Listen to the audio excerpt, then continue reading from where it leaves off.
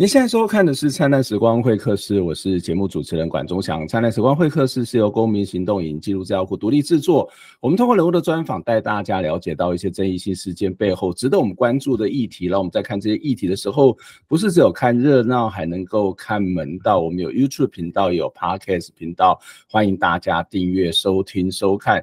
也期待您可以透过捐款的方式来支持我们。透过公众的捐款，可以让独立媒体走得更远、更好。做更多深度的报道以及讨论，也让我们一起听见微小的声音。在上礼拜的节目当中，我们其实访问了这个呃今年的移民公文学奖的得主丽丽啊。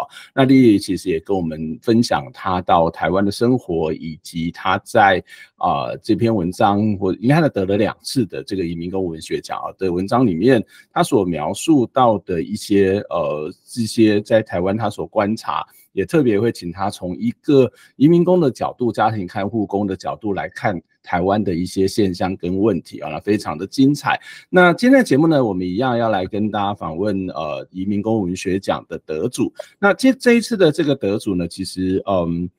几个礼拜之前啊，汤生龙哈，就是我们邀请过汤生龙来跟我们谈啊，他为什么要从一个电视节目的制作人来去接办移民公文学奖？那他在我就问他说，哎，你在做评审或者在做举办的过程当中，有什么样的文章让你印象最深刻啊？那他提到了这篇文章叫做《打磨死也能成玉》啊，那这是啊这一个呃上一届的这个。评审啊，文学奖的这个评审奖的得主哦。那不过今天呃，打磨石也能成玉的作者呢，这个叶芳哦，他也来接受我们的访问。那不过他今年呢，得到的是这个第九届移民公文学奖的得主哦，啊，他是这个首奖的得主。那作品叫《Rika 的黑店》。好，我们来特别欢迎叶芳。叶芳你好。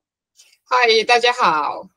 嗯，非常谢谢叶芳来接受我们的访问。那叶芳其实是很厉害的一个，他会很多很多的语言啊，然后现在也在我们嘉义县政府来这个呃来服务来工作。待会我们请他来稍微分享一下这个他在台湾的一些生活，以及他在。呃，嘉义工作的一些这个这个情这些情况哈，一些经验。那不过我想，呃，我看了一些资料，我们知道叶芳是从印尼来台湾工作哦。那您来的地方是印尼的加里曼丹，可以帮我们介绍一下您的故乡吗？加里曼丹？诶诶，加里曼丹是印尼最大的岛，嗯，然后就是，可是它它是偏非常的那个偏僻嘛，然后就是我如果要回去的话，我必须从台湾。坐五个小时的飞机到雅加达，然后从雅加达转机两个小时。哦，还要转机两个小时哦。对，到坤甸，然后到了坤甸之后，我还要坐八个小时的公车才可以到。这么远？哎，对，就是那么远。嗯嗯。然后我们应该就是有有一条，就就靠那个一条河这样子生活，那个水的来源就是从那里，就我们那边最大的河。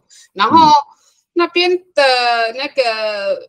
居民就是他们的工作主要就是农务嘛，就是做那个橡胶的那个那个什么，就是呃橡胶的，就是做那个种植嘛，种植橡胶，对，种植就对了，嗯嗯，对对对对对对，嗯。呃，大概这样子。嗯，OK，其实我也有去过印尼啦，我就是去雅加达跟巴厘岛，就是一个非常纯粹台湾观光客的这种会去的这个行程。不过我我其实蛮喜欢巴厘岛，去逛舞步啊，去逛一些艺术的这些聚落，我就觉得很有趣啊。当然，呃，这叶芳就告诉我们说，印尼其实非常的大哦，那其实印尼的人口也很多，所以印尼可能也不是只有我们想象的，只有在某些观光的风景区，或者是某些的呃这种呃比较雅达比较热。闹地方就是那种刻板印象可能会限制我们对印尼的认识跟了解，所以我们也特别请这个叶芳来跟我们先简单的分享一下，介绍一下他的家乡。那其实我想要问你一个问题，应该很多人都问过，当年你为什么会来台湾啦？那你到台湾之前对台湾有什么样的想法吗？有什么样的期待吗？我会来台湾是因为我找不到工作，在印尼找到不适合我的工作。OK，哦。然后我我我来台湾之前，其实我不知道台湾是它是另外一个岛，而且它是不是在中国里面，也不是中国，而且台湾人还拿自己的护照，这个我都不知道。我以为台湾是就是中国的一部分，就在中国的里面这样子。因为因为那时候我我知道的会讲华语的人，就是就有新加坡、马来西亚，然后香港，然后就中国人这样子。我我根本不知道。呃，台湾，然后我的想象也是，就是呃，国外，因为我看到很多书嘛，就想象国外是会下雪的，有下雪的，会下雪的地方，很浪漫的，对，很浪漫这样子的地方，对啊，然后来来来的时候就真的差蛮多的，嗯，就是的稍微比印尼稍微不热一点，但是也是一个亚热带了哈，就是在在在这个那这个在气温上面、气候上面，这个想象的落差，那在气候也落差，生活习惯。上面会有一些落差吗？会啊，就像我刚来的时候，我根本不知道当时是在台湾的冬天，然后也没有人告诉我，所以我就穿了短袖，然后到了机场就冷的要死，然后拿了 拿了几件的那个短袖的衣服，就穿了五件四五件这样子。对，所以来之前也没有人告诉你台湾到底是谁是银牙币，然后到底在什么地方，或者是说来台湾之前要什么样的准备，这个完全都不知道，或是很少有这方面资讯。对对，因为那时候还没有网络啊。哦。啊，我们我们电话，我们家里也没有什么，没有电话。我们如果要打电话，要去外面租。嗯嗯嗯嗯，所以到台湾之后就开始就一下机场就会遇到了天后的冲击，或者有各式各样文化冲击。这其实也反映在你写的文章里面，也会提到这种夫妻之间的这种观念的不同，或者是啊这种文化上面冲击的部分啊。那你到台湾之后是从事什么样的工作啊？那跟呃原来的想象的为什么会有这些？刚刚谈到除了那种自然气候的差别之外，还有什么样的其他的差别？呃，其他的差别其实蛮多的，因为我我刚来台湾，我就觉得，呃，就是他会经过那个都市嘛，然后就是说，哎，那么发达的地方就是很发达，科技也很发达，而且现在那个台湾是在国际上是的，个那个科技是数一数二的，就很有名。可是我就很很很很不明白，为什么台湾人会拿一块包包放在电脑上？就是就是希望它可以顺利可以变好，不是科技很发达吗？为什么会做这些的动作？我要秀一下我们的录音室的电脑也有一包乖乖。我在你的访问当中看到你提到说，为什么会把包乖乖乖放在这个电脑上？就是如果你有看我们的影片的话，你就会发现，哎，我们就真的有一包乖乖在我们的这个录音室里头，嗯。对对，就是很多地方也是在机场也是哦，在机场每一个电脑都会放一个绿色的宝那个乖乖，所以我觉得怎么那么奇怪，科技那么发达，为什么还会相信乖乖，就很像蛮蛮矛盾的这样子。嗯嗯嗯嗯。OK，这这是一个很有趣啊，文化冲突、文化冲击是是蛮大的哦。那那你刚来台湾的时候，最主要的工作是什么？我刚来台湾，其实。前面我是有做那个餐厅的工作，可是我我因为有点太辛苦，我就做了两年，我就回去了。嗯然后回去了一段时间，本来在机场的时候，我爸爸接我的时候，我爸看看到我瘦了瘦了十几十几公斤，他就说，对，他就说台湾那个鬼地方你不要再去了，这样子。紧拍摄，紧拍摄，台湾那里瘦了十几公斤，真的很不好意思。对对啊，可是后来因为我我在印尼。就是找工作就真的很不顺利啊，然后就就就休息了半年了，就跟我爸爸说，我还是要去台湾这样子。哎呀，然后他说，可是那边很辛苦。我说，呃，我我宁愿辛苦一点，我也不要哭着没有钱，嗯，可以花这样子。然后就就就来台湾了。后来我第二次来是其实去那个当建筑工啊。建筑工啊？哎，对，嗯，这这投资啊？嗯，是一他是在工地。在工地，他也不会跟你说你在建筑那边会负责什么工作，你去就对了。然后，呃，其实因为我我比较不会照顾那个人嘛，所以我就说啊，没关系，那就做建筑工啊。去的时候，其实很多。大哥哥们就是他们很照顾我，他因为我是其实是唯一的女生，嗯，然后呃，然后那边的就是他们会把那个扫地的工作派给我，比较轻，哎，比较就不会就是搬东西什么的，搬东西是会，可是也不会很很辛苦啊。嗯嗯嗯嗯，哎，这种到台湾的女性担任建筑工的多吗？在建筑工地工作的多吗？如果以公司没有，完全没有，就只有公司没有哦，对，就是男生啊，我。因为我那时候比较男人婆，就就是比较比较男生一点，然后就是对我来说其实没有什么问题，而且我还蛮喜欢在工地工作的，因为什么知道吗？因为你是最漂亮的，里面是最漂亮的，然后在做。是是一个一个一个宝贝啦，就是大家特别会去照顾啦。对对对，因为一个工地通常都是一个比较男生为主的一一个工作的环境嘛，所以你其实可以到餐厅，然后也可以到工地，然后你还会写文章，参加这个移民公文学奖，你真的是能文能武，然后又多才多艺，是非常非常厉害哦。那而且你这一次还得到这个移民公文学奖的首奖哦。你为什么当时会去参加这种移民公文学奖？因为你还是变得是说，跟你刚刚谈到的那个来这里工作的目的是有很大的落差。为什么会参加这个这样的一个比赛呢？我其实从小是很喜欢写日志，哦，对，我也喜欢写诗，也喜欢写故事。那时候我们学校是有一个叫做文艺墙，就是你可以把。你的作品贴贴上去，然后就是就是大家都会去看，然后有一些同学就是会很期待我的作品哦，对，然后就说，哎，我如果没写，他们就说，哎，你怎么那么久没有写了这样子，然后我就我就我就很蛮有成就感的，就喜欢喜欢写写写写写，然后后来来到台湾之后就很忙，然后就没有没有没有写，我没有再写作了。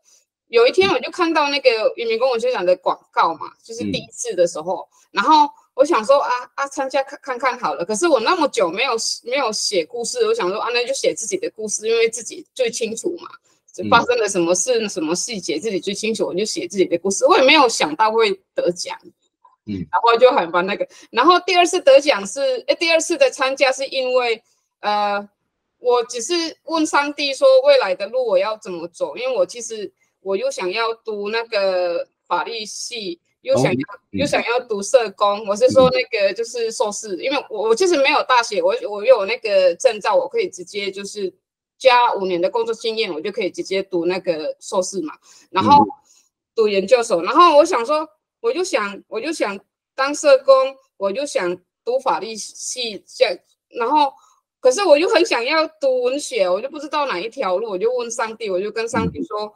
我现在要再参加这个比赛第二次，如果你让我得奖，任何奖，那表示我是要从那个文学的路走啊。如果是没有的话，那你就告诉我，我社工跟那个法律系里我要选哪一个这样子。然后，因为我没想到就会得首奖这样子。哇，有有特别有上帝的祝福在在你的身上。对，其实其实你应该，我我记得之前。汤生龙在我访问他的时候，他就说你正准备要出书。其实不是只有汤生龙说，哎，我可以来访问你，包括这个廖云章也跟我提过你，就是在在之前有几次见面的时候，他说你这样出，所以你现在正准备要出书是吗？有在准备，可是现在就是还。有有一点卡到一点东西，所以还在还在想。哇，那那很厉害的，就是能够在这里呃来从事我们刚刚看到很多劳务工作，然后参加这种呃移民工的这种文学比赛，然后最后出书。那甚至未来你可能也想要再再继续的进修，然后这个可能要当一个作家。其实这个这个是一个一个很特别的生命经验吧？对你来说，我想应该对很多人来说都是很特别的生命经验啊。对我来说，是因我为什么后来前面我其实只有想要读法律系跟社工而已，嗯，然后后来我为什么会想到文文学？因为就是文学，它是退休的时候你也可以继续学，就是它也不限空间，也不限那个，你可以边照顾小孩边照顾家家人做这些事情。可是如果社工跟法律系，你就是会绑在那里。可能就是没有那么的弹性，啊，可能你到退休了一个年龄的时候，以后也不知道要怎么那个，所以我想说，就文走文学的路，然后文学对我来说，它是很像一个疏解压力的一个方法啦，就是嗯嗯，无聊的时候就可以写一写这样子。嗯，那你当时为什么会想要读社工或者是读法律啊？哦，好，那社工是因为我因为。其实很多新住民的朋友，他会认为是我是很聪明，其实我没有聪，我没有很聪明，我只是很努力而已。然后他们就会问我一些事情，一些一些法律的事情。然后如果他们有有问题，就是卡到那个官司啊是什么，还是他们就上次像我帮了一个朋友，就是那个呃侵害告那个侵害配偶权啊什么啊。然后我觉得。我觉得那个台湾很需要那个会母语的社工来协助来协助新住民或是义工，因为我有时候我陪诊的时候，那个社工也会陪诊，可是社工的陪诊，因为他跟义工就是语言不通，呃，也也不可能每一次都请翻译来陪伴，所以我觉得社工在陪诊的时候，其实也没有什么很大的作用。如果他不会母语的话，所以我就想说，其实会讲母语的社工很重要，所以我就想想当社工是因为这样子。然后法律师是因为我也对劳工法令就是还蛮有兴趣的，我觉得有一些新住民朋友或是义工，他们对法令不懂啊，然后就会。就会问很多问题啊，可是我也想知道为什么会设这种的法令，然后这个法令是用来干嘛？然后如果没有如果没有遵守，是会违反什么？会罚什么？这样子就是就一个兴趣啦。嗯嗯，这蛮重要。你刚刚谈到是我们在看到很多的义工，我们都会觉得说啊，你就是来工作的，但是其实他面临到很多包括。他呃，移民也是一样，遇到很多心理上面的问题，或者是所谓的身心方面的问题，或家庭方面的问题，他可能都需要社工跟法律。不过你刚刚特别谈到，我们可能对于台湾的法律并不是太清楚。那即使有台湾的社工协助，可是其实一直以来被人家诟病，就是台湾的通译这个部分，其实都都非常非常的缺乏哦。所以往这方面去做，其实我我觉得，特别是我们不管是新住民或是新移民，因为你从新新移工变成是新住民嘛，哈，那其实可以对我们这里的这些啊来台湾工作的朋友呢，来协助他的朋友，应该有更多的帮助吧。呃，所以你要不要那个又可以当文学家、当作家，又可以当社工，又可以去从事法律的工作？反正你这么多才多，应该都可以兼顾得来吧？就是没有没有办法同时做那么多事情啊。对啊，现在是就只有帮忙义工啊，那个新住民是偶尔啦。嗯。不过，不过人人生还很长啦，对，反正你还是，反正你可以，你至少应该就会有五种语言嘛。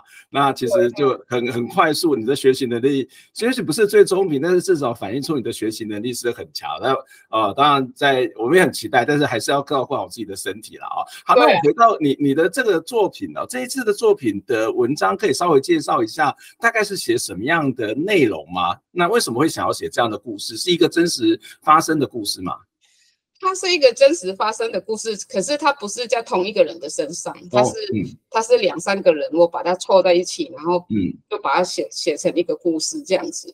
然后呃，会写这个文章，我觉得是因为我台湾好像不太重视那个义工的通译的的身份这样子，因为义工的通译。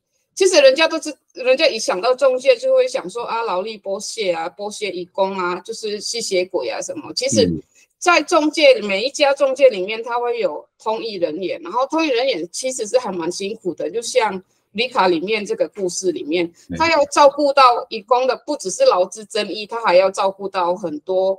很多的义工的事情，像义工要离婚啊，还是义工又心情不好啊，还是义工的家人死亡啊，这些他都要要要帮忙要协助。然后这个文章我用了四种语言嘛，就是它里面有有有闽南语、有客语、有印尼语，还有是用那个华语写的。我想要告诉大家说，其实台湾是那么的多元。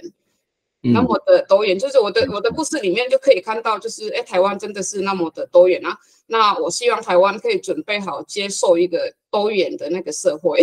这样子，嗯嗯，这的确是需要。就是我一直都觉得台湾是一个移民的国家，就是在不同的时间点，然后因为不同的原因，可能因为战争啊，可能因为经济啊，可能因为工作，可能因为婚姻，都来到这个地方。所以呃，我们本来所有的台湾人，大概除了原来可能住在这里的原住民族之外，全部都是移民。那甚至一开始也都是移工。所以这本来就是一个移民的社会。所以我觉得我们应该要更开放一点，甚至要更认识我们在这里有很多不同的姐妹。跟伙伴了，我觉得这大概就是一个非常重要，所以你也很特别的在这篇文章里面就用四种不同的语言来来写作。那这四种语言你你都是很熟悉的吗？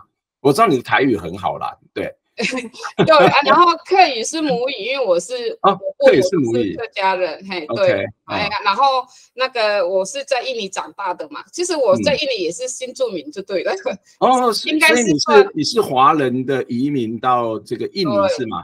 对，我是新三代了吧，应该是可以这样说。对，对。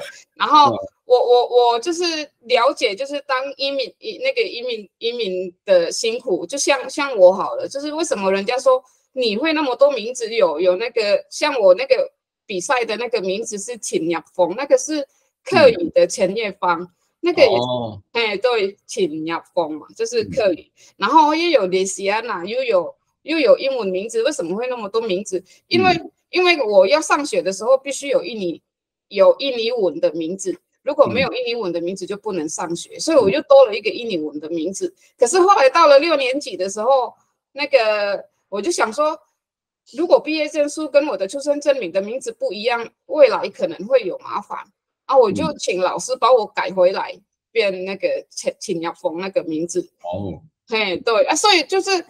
当移民会影响到很多事情，包含是你的名字，就就就是有时候当移民真的是很不容易的一件事情。可是能接受那个移工跟移民工的人，那也更不容易。我我也感受到我婆婆其实那么也也蛮辛苦的。如果她煮的东西不合我的胃口，我就想吃印尼的东西，然后她就 她就会有一点失落的那个。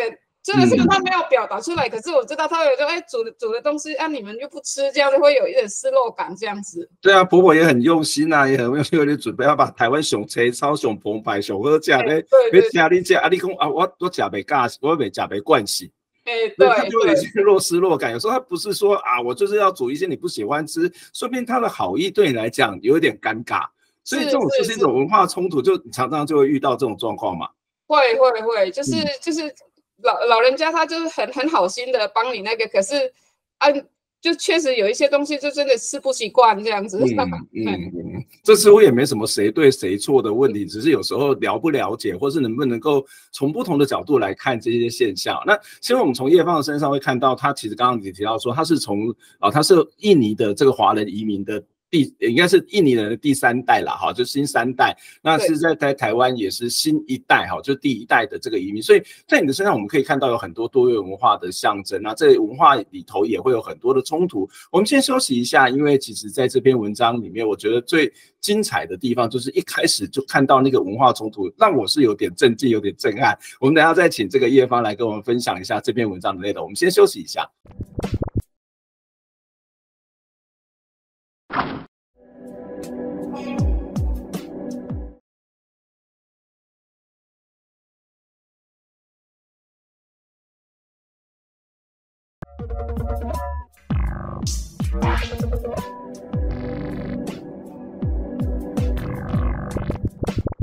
欢迎再次回到灿烂时光会客室，我是节目主持人管中祥。今天在节目当中跟我们一起聊天的是这一届也是第九届二零二四年的移民公文学奖的得主哦，陈叶芳。叶芳你好，好，大家好。对，叶芳这次得奖的作品是这个 Rika 的黑点哦。那我们刚刚在上一段的访谈当中，大家也都知道叶芳事实上哦是一个。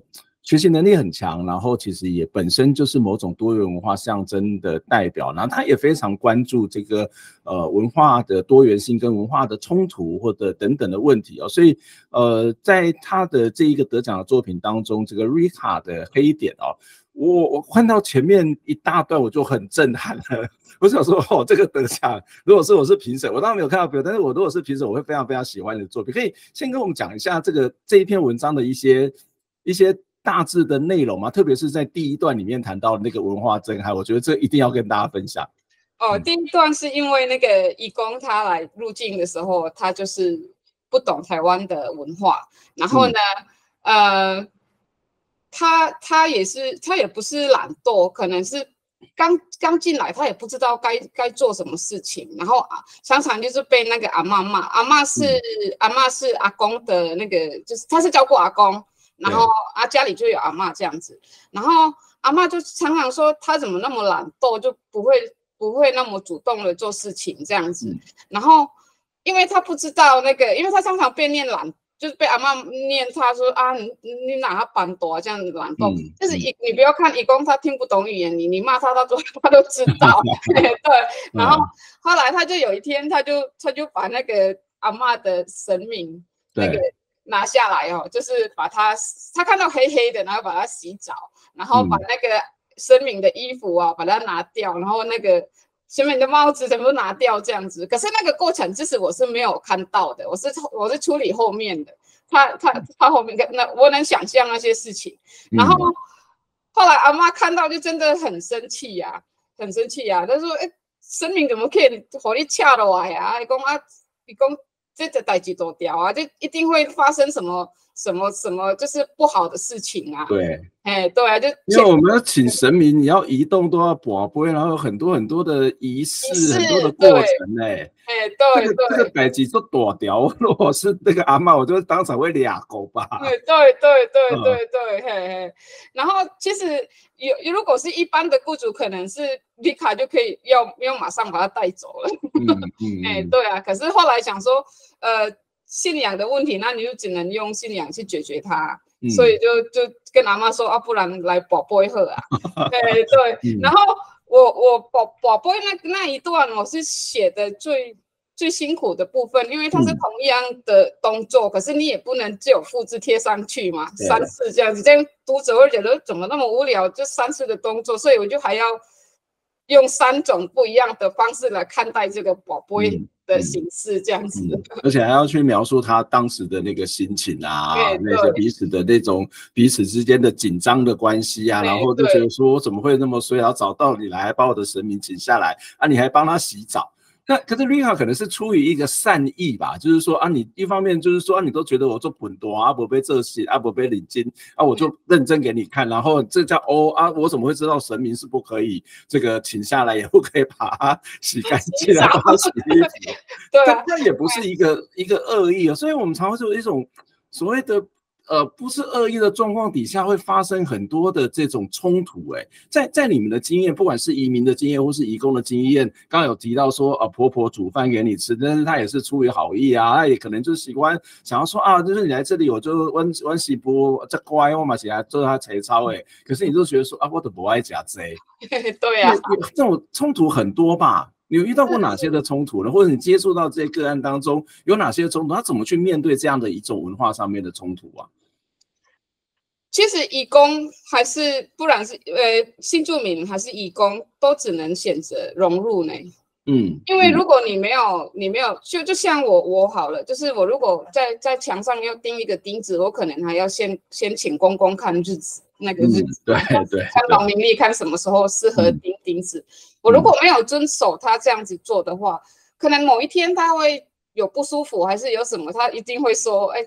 你看哦，就是你，那么厉害啦，对，那么厉害，对啊，对啊，你得是叫 T K 啦，那就就就就会讲这种话，所以我们就只能选择那个融入啦，哎呀。嗯嗯，那这也就是你说台湾人太迷信了啦哈。那那我要先讲一下，台湾人还是爸爸舅哈，台湾人还是很多种，所以每个人对信仰的看法或者对信仰的执着还是不太一样，就是并不见得呃都会是每个人都一定会都会放乖乖啦哈，都会觉得这个钉钉子都要干嘛干嘛之类。也许有些人会，有些人不会，因为他对他信仰的态度跟他的这种呃执着会有些不同哦。可是你刚刚谈到一件我觉得蛮大的一个一个一个一个值得我们去思考。就是说，香港新移民、新住民都必须选择融入，然后从某个角度叫入境随俗了哈。就在那个入境随俗的过程当中，心里面应该有一些疑惑跟挣扎吧？那这个会有一些内伤哎，就是说他可能也不是要做坏事或者干嘛，他就说啊，我我为什么要这样？那如果不知道怎么调整，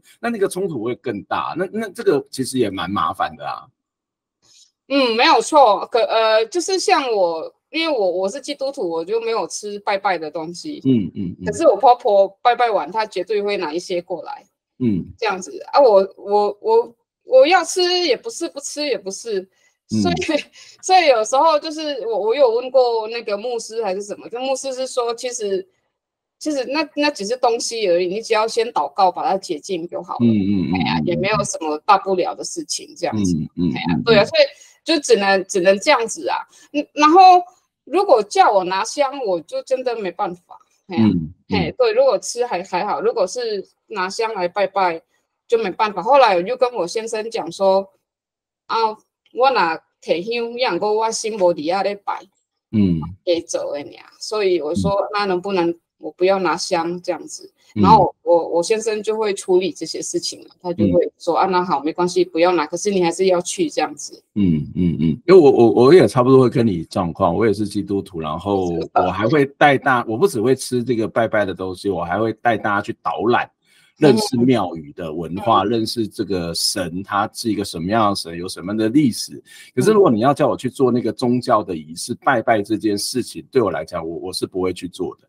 对，我会跟你会有一些类似的地方，就是好像，诶，有些东西我们还是一种彼此尊重，但是有时候还是有一些底线。我觉得这这个也不是只有。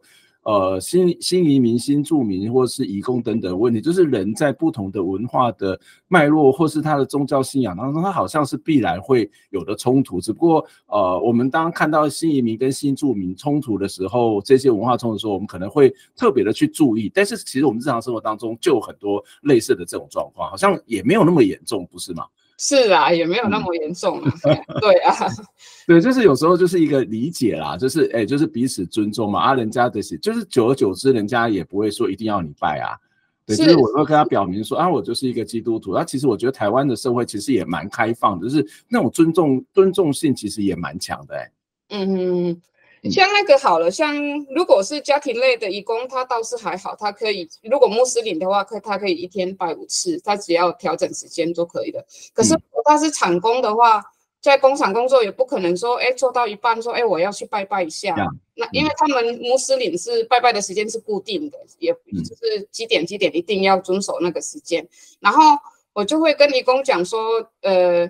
这就真的没办法，就是没办法让雇主说让你让你做一做，然后就就去拜一下再回来做。有一些工作是他是不能停的，然后就只能选择妥协。可是如果你不吃猪肉，我绝对会跟雇主讲说，真的不要让你吃到猪肉这样子。嗯，所以你其实也要去协助很多这种协调方面的工作嘛？要要，因为我是处理那个劳资争议的。嗯嗯嗯，待会我们再来谈你在台湾在嘉义县政府的工作的遇到的一些情况哦。其实你曾经说过，呃，你不想要让大家看到移工都是悲剧的样子。嗯，我我觉得这个其实蛮蛮重要的，就是至少我们看到你。很开心，或者才是多才多艺。为什么你会想要说？为什么想要会说这一句话？就是不想让大家看到义工的都是悲剧的样子。你觉得台湾的民众对义工会有什么样的刻板印象，或者是你觉得义工的样子是什么啊？其实义工他也是跟我们一般人一样，他也有一些是很乐观的人，有一些比较悲观的人。然后我不知道为什么媒体常常报的就是义工很可怜，义工怎么样，就把他们。变成很弱势的这样子，确实他们是需要我们协助。可是我我希望是可以看到，就是很多在在台湾也可以报道说，哎，义工觉得台湾很好，为什么会他们会选择来台湾？其实，在台湾他在台湾他们也过得很好，像我我也是过得还不错，就还就还可以这样子，也都还过得还蛮开心的。其实这些东西应该要要有平衡啦，不要不要每一次都是看到义工就是哦，他很可怜，他是。报道新住民的时候，报道新住民的时候就被打、被家暴什么的。其实也有新住民是过得很好、过得不错的也很多啦。哎呀，我就希望可以平衡一点啦。嗯，这其实是一个在在全全世界都是差不多啦，就是对一些比较异文化或是不了解的这些文化跟群体，常常会用两个很刻板的方式，一种是可怜，另外一种就是可恶。对对，要不然就是义工也是很可怕啊。然后只要发生什么事情，就说啊，是不是义工干的？啊？然后说义工有什么参加犯罪集团啊？然后其实。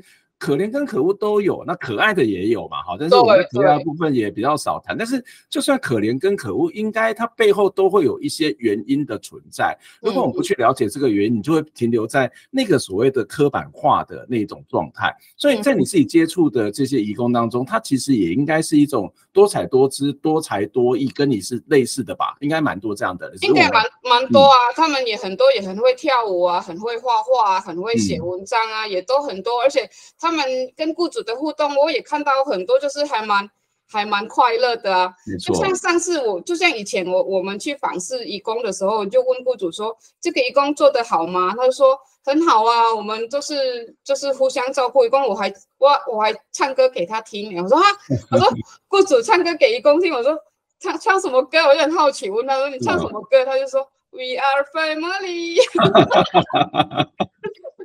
我就觉得这样都还蛮可爱的，哎，对，就不是只有了，就这里这打来打去什么的啊，哎呀，没错没错，而且我觉得刚刚是一种不要去刻板化，另外更积极的是，我们应该从义工的身上学到一些东西吧，就是你自己在参与的过程当中，或是在关心的过程当中，你觉得有哪些义工的特质，就是可以值得我们学习的部分，是台湾人比较少看到的吗？我觉得他们的耐心是超有耐心的，尤其是照顾老人的时候。对啊，嗯嗯，这这的确是哦，就是照顾老人是很重要。其实我我们家的也有长辈，就是身体比较不舒服，那其实你会发现，那个整个家庭要投入到这个呃家护的这种照顾里面，其实对很多的人是一个很大很大的压力。所以其实我觉得也不是只有耐心呢，就是所谓的抗压性也很强，因为其实有时候。生病的人或是不方便的人，他有时候自己的情绪也很难掌握啊，所以很多这些人都得要去直接面对这些，在第一线面对那个情绪，我觉得那个说实在真的很让人家佩服啊。是，还有他们的适应力也很好啊。嗯，哎，对啊，很快就适应一个环境了。没错，没错。呃，你你其实是刚我们一开始有提到说，你是因为来这里工作，然后来嫁结婚。然后跟在这里跟老公结婚，然后到这边来。那呃，结婚的时候也是好像也是因为工作认识你的老公嘛？对，是是是是是是，也也是在工地嘛？也是在工地。那时候他认真工作，特别照顾你的那个吗？不是不是，我只是看到他工作的样子，我觉得很帅。对，你的老公也蛮可爱的，就是在你的脸书上面，他常常就会出现。对 对对，嗯 嗯。不过你你虽然这个跟你的老公看起来有时候会这个打打闹闹啊，打情骂俏，然后会互亏嘛，哈，然后他们其实感情也蛮好。不过你也曾经说过说，嗯，在台湾没什么朋友，没有娘家，这会不会其实是蛮多普遍移民新移民来的时候会遇到的状况，会会有一些。孤单感嘛，或是有一些无助感嘛，就是如果你真的呃遇到呃这个婆婆煮很好吃给你吃，你不想吃，你有可以朋友可以帮你诉苦吗？可以，就是移民们的支持的团体，呃呃，他他他是一个一个会有这些支持团体，是每个移民都会有遇到这样的一个支持的朋友吗？还是其实很多人都一样，都是刚开始的时候是很孤单的呢？呃，呃。像我们其实我们都有新住民的朋友圈呐，就是就是固定的，就是新住民的朋友圈有谁谁谁谁这样子。可是其实像我，我就生活就是蛮单纯的，我就是上班然后就回家，我可能九九九九一次才会跟他们一起聚会什么的。嗯，对，所以有时候，而且有一些事情也新住民的朋友谁也不能不能帮啊，对啊，嗯嗯，对啊，你要你要打电话回娘家。两两家又能做什么？嗯，就是盐水救不了近火啊，就就还蛮，就还有时候还蛮孤单的啦。可是我是就是，其实我我是靠信仰这样撑过来的。对啊，我是靠耶稣这样撑撑过来的。我刚开始其实是呃来台湾遇到了跟我先生遇到了很多问题的时候，我曾经跟上帝说，如果是基督徒都不能离婚的话。那我就不要当基督徒。哇，跟这个跟上帝都直接枪下了。对对，如果如果基督徒，因为因为圣圣经也有写过，就是呃那个什么，就是上帝错的两个人在一起的就不能分开这样子。我说，如果是真的是这样子的话，那我就不要当基督徒就好了。我因为我觉得，我觉得我的婚姻就是就是那么的，那时候就真的那么的苦，那么的在谷底里面。然后我又不能离婚，为什么要这样子？如果上帝真的是我的阿巴父的话，你看到你的女儿这样子，你你会让她不离婚吗？我就我就这样子想了，哎呀，然后后来就是后来才会一直读圣经，后来重新读圣经的时候才知道说，哎，上帝。跟我讲的话，我应该是要去遵守、去听，然后后面是一定会有他的祝福这样子。嗯嗯嗯嗯，所以还是没有离婚嘛，对不对？没有离婚，对。我觉得这蛮重要啦，就是呃，我当然我们刚刚谈到说可能会有一些一些团体或是一些朋友的支持，但是不见得每个人都会去参加，然后也不见得所有的话都合适跟这些人去做分享。那就算分享，你也刚刚谈到说他也未必能够真的帮的忙，可是至少对你来讲，那个宗教信仰。是一个非常非常重要的力量，就是在你非常彷徨无助的时候，还有上帝可以挖可够兄弟但挖可。对我还我还也不好意思，我打断，我还跟我那个先生讲说，呃，你莫搞我欺负，因为我的马是有兄弟。嗯，没没错没错。对，你要对付的是后面是上帝哦，你要想想想想清楚一点。对他，所以他会害怕嘛？你可能可以给他看旧约时代的上帝比较凶一点。对对对。OK，好，那我我那你在这台湾已经很长一段时间，那我我知道你现在是在嘉义县政府这个呃劳行科，是在呃那为什么会去嘉义县政府工作啊？劳行科就是在做什么工作啊？是劳动行政吗？还是？对对，劳动行政科。其实我我我就是当了七年的义工翻译的时候，我就真的觉得说这个工作不是人在做的，是神在做，是神经病。这个是神 是神经病的是那个神对，我说这是一堆神经病在做的事情，你你要你你有时候要会被雇主骂，啊你有时候会被义工觉得你你没有站在他那边啊，就是这个工作真是很辛苦。后来我就觉得说，如果我继续做的话，我可能气笑。然后然后我就就就就离职了，离职了三个月那期间，然后某一天那个老板娘就跟我讲说，哎，我有一个。要要要协调的那个案件在嘉义县政府那边，那你能不能陪我去当翻译这样子？嗯嗯。然后他就把我叫回去当翻译，可是那是临时的翻译的，我就去。然后去完之后，那个里面的小姐她就跟我说：“哎，我们这边哦，到时候会缺人，那会缺一个就是印尼的，就会缺一个义工咨询，那你要不要来这边工作这样子？”嗯。然后。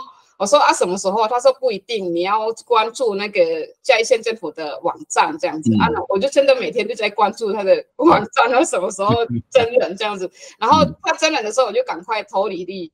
然后其实争取的不是我，争取的是另外一个很厉害的小女生，她是她法律系毕业，她精通越南文，而且她不是新二代哦，她是台湾人哦，台湾的新人。嘿，对，她。多一九百多分，然后又精通越南语，然后他是法律系毕业的，我我根本就是跟人家都比不了什么啊！我是被取的，哎，结果他那个工作他不要，然后变成就我就被取就变正取这样子，就去那边工作。可能可能上帝跟他说不要来这样子 啊？对对对，没有我乱讲的，我乱讲的。然后就在那边工作，然后。呃，刚去的时候，其实这个是我在来台湾，我做了那么多工作，是一个我挑战最大的工作，因为要要会写公文，然后 要会做，要会办活动，写计划书，写那个报那个招标的东西等等很多。最主要的工作是协助那个义工，然后就是做那个劳资争议嘛，就只要义工他呃，就是义工他如果有劳资争议，他会打一九五嘛，嗯，劳动部的专线。然后一九五就他就会派案，看哪一哪一个县市属于哪一个县市这样子，然后啊我们接到的时候就由我们来处理。嗯哼，嗯，所以我们的义工通常会遇到什么样的劳资争议啊？我，其实蛮多的耶，嗯，薪薪水的问题呀，还是那个就是跟跟老人家的问题呀，很多哎，其实。都各各各式各样的问题都都有，哎，还有那个肚子痛去申诉的也有。哦。感觉我们应该花一个集时间专门来谈这个移民工的劳资争议的问题，因为其实我们对我们当然从台湾的角度，或是我们自己节目也会谈到很多移民工的问题，例如说可不可以自由转换雇主啊，然后或者是刚刚也谈到，哎，生病的时候到底要去哪里啊？然后雇主会不会去协助你啊？那但是其实有很多更更琐碎或者是更细微的那些冲突，其实我们外面的人大概不会知道的吧？就是一些倡议团体可能也不见得。真正能够了解，就是特别是人跟人之间，例如说他的主管可能就给他一个一个，就给他亲一下啊，就是先啊，在讲话过程当中可能会会去跟他亏一下，或者歧视他一下，这这个应该也会蛮多的吧？这种很有有有有有，其实性骚扰的案件其实也不多也不少，可是性骚扰大部分都是老阿公啊，嗯嗯嗯，哎对，因为他失智了嘛，然后他就会做一些。性骚扰的动作，然后有时候是因为也不一定是到我们那边问题就解决了呢。嗯，因为像像有一些是会遇到法令，就是法令的拉扯这样子。嘿，对。然后就像上次有一个农工，他刚入境，然后他对那个他对台湾的气候不太了解，他不他不知道。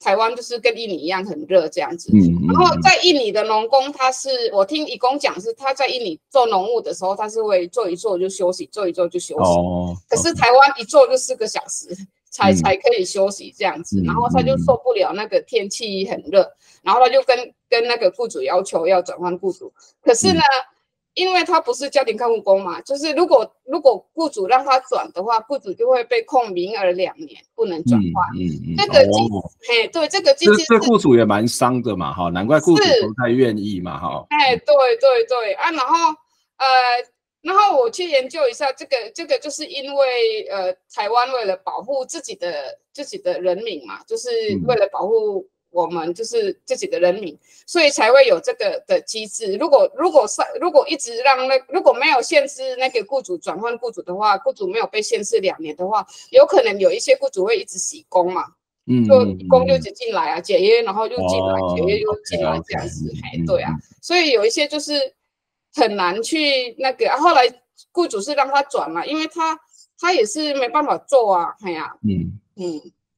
对，所以这其实也是一种哦，不是他懒不懒惰的问题，而可能是他工作习惯或是对天候能不能够适应的问题哦。所以有非常非常多的这种小细节哦，其实是我们我觉得不见得是一个纯粹的，好像那个法律制度可以解决，而是怎么能够去同理，或是能不能去了解那个文化，才有可能去去看到那个很细微的这些冲突哦。那当然你在台湾也。这从事刚刚谈到翻译的工作，然后事实上也在我们嘉义县政府来做啊类似的这种劳资协调的工作。我我问一个问题，这个问题有点大，你觉得台湾的呃这些对移工的这种呃相关的制度有什么还需要去改善的地方吗？这个这个问题当然很庞大，但我不知道从你自己的位置跟角度有没有觉得你觉得哎那个应该是马上可以做，但是为什么还没有做的一些一些做法一些部分？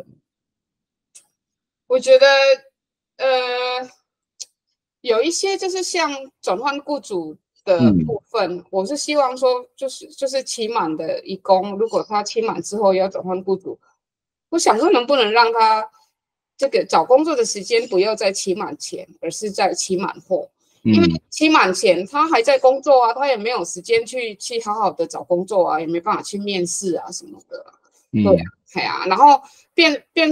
变成就是说，他如果二到四个月找工作，他又没有时间出去看一下，嗯，工作的话，那可能到期了，他还是找不到工作，他就必须要回去了啊。如果他不想回去，他就失联了，就逃逸了，这样子。呀呀，对。所以这有些这种转换期嘛，哈，就是转换工作的这个期间，其实应该有一些更更人性化，或是更符合实际上面的这些需求嘛。对，还有另外一个是我希望，就是我们台湾的工作机会的话，可以公开给义工，让义工自己去应征，这样子不要通过中介还是什么啊？因为他自己去应征，他可以自己去看那些场合什么。嗯，哎呀，对啊，我如果是如果因为现在我就还没有看到，也就是政府的平台，就是可以让义工。可以直接看到工作机会的。嗯，这其实台湾的这些移工的倡议团体也谈了很久了，就是这种中介制度是有问题，或者说怎么样让那种招工的方式是更透明化哦？这个对对移工或是对雇主其实也是一种保障哦，因为透过中介还是有很多东西是比较不清楚的哦。当然，这个中介有好有坏，这个当然都很难说。OK，好，那。这个这个其实今天非常谢谢呃我们叶芳来接受我们的访问呢，从你自己的生活，从你的小说，然后写写的文章，然后也谈到你自己在这些工作过程当中的一些观察。今天非常非常谢谢叶芳的分享。那叶芳的文章还有我们的移民跟文学奖的文章，我们会在呃公民行动影音记录资料库的网站上面都可以看得到。那希望下次有机会再请叶芳来跟我们做分享。我们节目今天就到这边结束哦，谢谢，我们下次再会，拜拜。拜拜，谢谢。